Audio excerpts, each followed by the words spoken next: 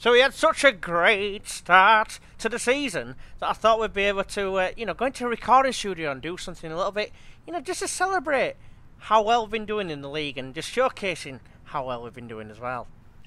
His name's Craig David from Bo Selecta. Me and GW are gonna come and get you. Yeah, we started really well, beating Zaragoza. They're picking up three points against Leonesa. We followed up that with a win against Granada. 100% record even against Huesca. Copa del Rey, we shot an Osasuna. Walking all over the Tarragona. Going tits up against Almeria. A 3 0 loss against. A 3 0 loss? What's going on there, G? Come you gotta sort this out. Otherwise, I'll sort you out once and for all. You bastard. Alright.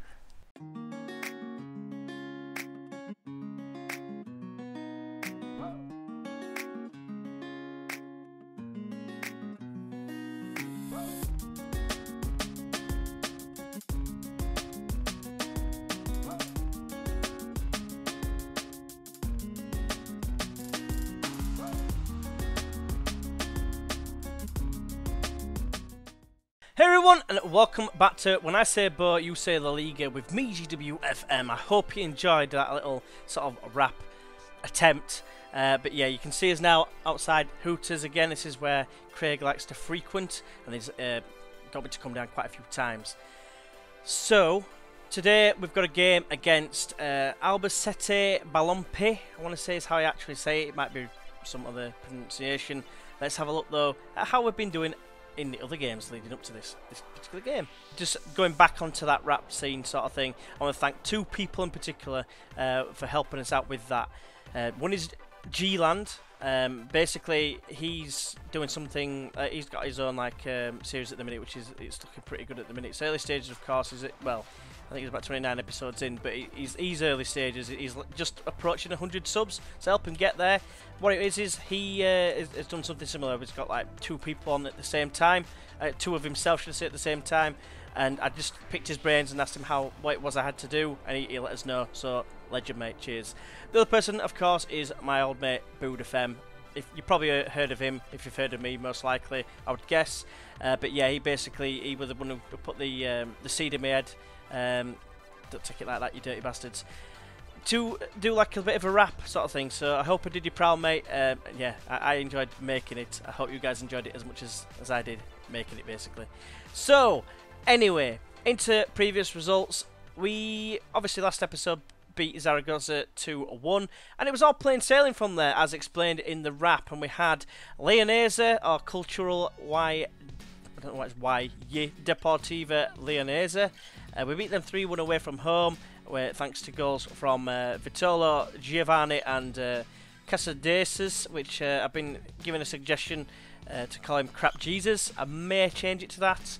Uh, let us know what you think in the comments. It was ulterior uh, alternate remember now. It's alter, Alternative Media Wales, I believe that's what it is. He's, he's given suggestions before Life at Leeds. So apologies if I just butchered your name there, mate. Uh, then we followed it up with a, a decent 4-2 home win against Granada. Uh, Tyrone Juan, Juan Villa, should I say, Suso and Sanz with the goals. Uh, different goal scores, it seems, every time.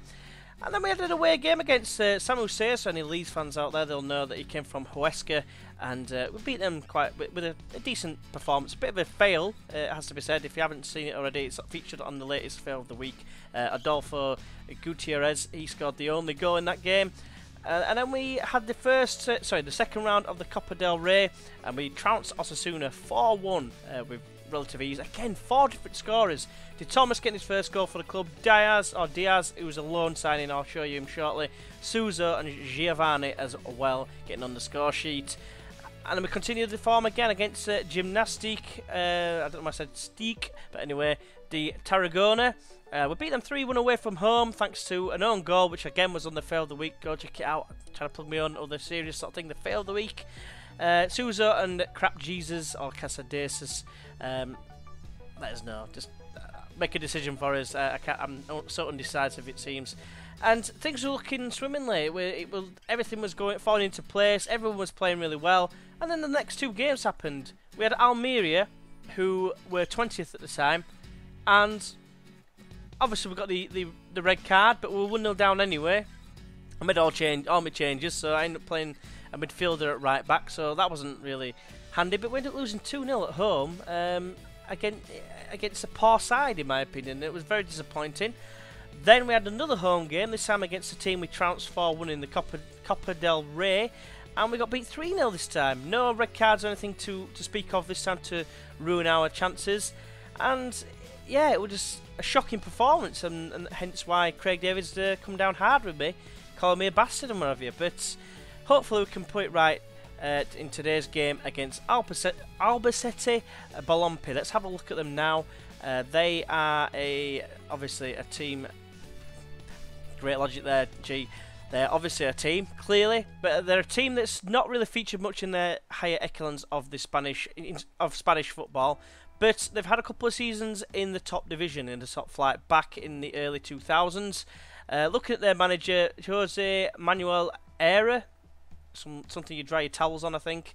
Uh, tactical knowledge is six, so I'm, I'm, expecting to absolutely destroy this team. If I'm being completely honest, with a manage with a manager with a tactical knowledge of six, I'll be very disappointed if we don't win against them. Uh, the key player, we're just going to look at them, uh, the, the, manager and the key player. Uh, just try and keep it as short as possible. Uh, the way I'm trying to do things anyway now is the left back. Going back onto subject, no Noblejas.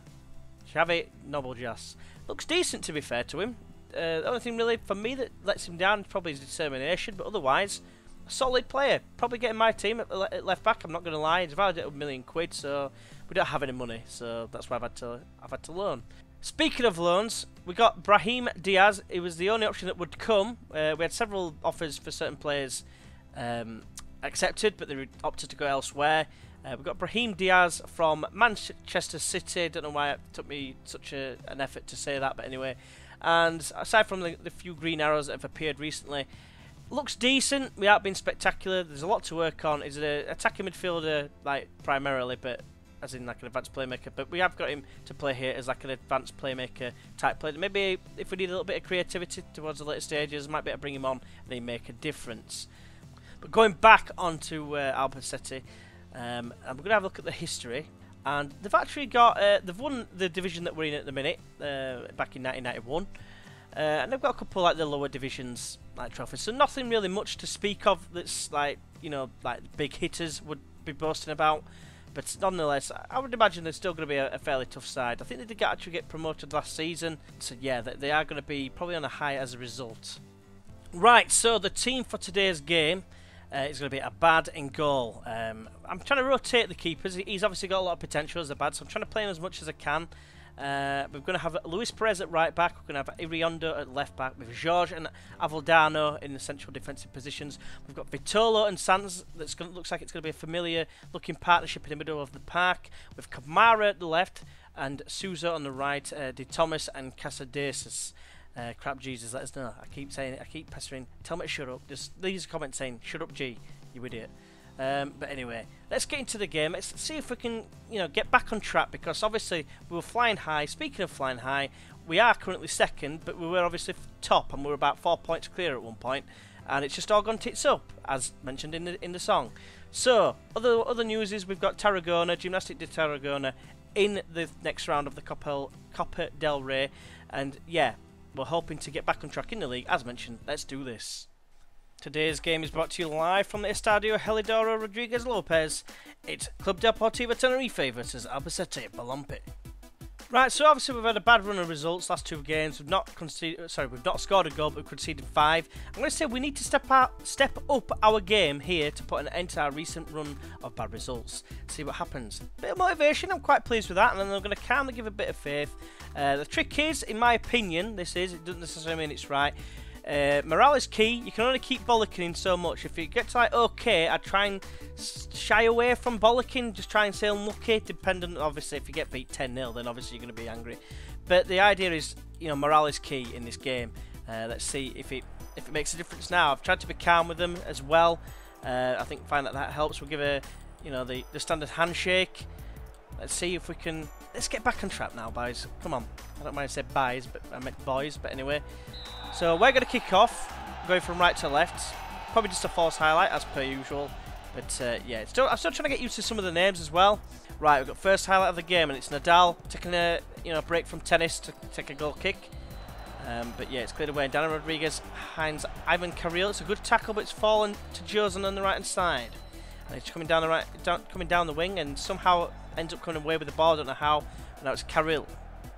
Back to Arroyo.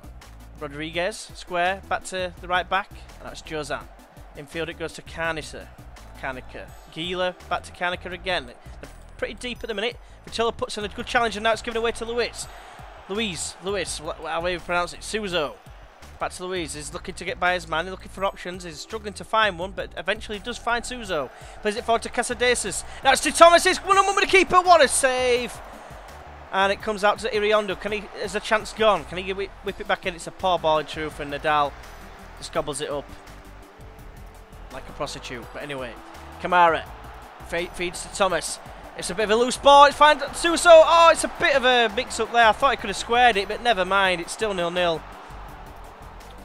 Quite an eventful first couple of minutes. Sanz with the corner, whips it in. It's headed away by Josan. Back to Sanz, the corner taker. Can he whip it in? First time, it's a low cross. Vitolo smashes it into Arios. I want to say his ball sack because he went down like a, like a sack of shit, but he got back up again pretty quick, so maybe not. And then Rodriguez can clear this away. He's calmly passed it to Carril. And it's Sanchez first time ball to Gila. It's a counter attack in full in full flow now for Albacete, but then it's won back again by Juan Kamara, which I'm tempted to call Wanker because it's Juan and then K, you know. Right, it's a corner, and Sanchez will whip it in. It's headed away by Alvadano and De Thomas now has got a lot of space to run in front of him without any real opposition. He's got a couple of defenders. Well, a defender coming across now. It's a crossfield ball to Sanz. Sanz has scored a few goals this season already. Kamara whips it in towards the back post. There's about eight players at the back post and they haven't scored. What's going on there? Right, a little bit of a break there, but now there's another highlight. Iriondo looking for options, finds De Thomas square. It's come really deep. Now it's Kamara. What can he do? He plays it towards Vitolo. It's headed away, but it's fallen to Casadesus and it's gone wide. Crap Jesus, whatever. Good chance. See, I always find that this tactic is quite entertaining. Um, apart from obviously when you concede. Sanchez has headed it back across. Lewis heads away. It's a poor header to Carril. That's a shot. It's hit the bar. I've just realised I don't have the match stats on. It's rectify that right now. Yeah, we've had four clear cut chances to their none. Uh, but yeah, it's still pretty even.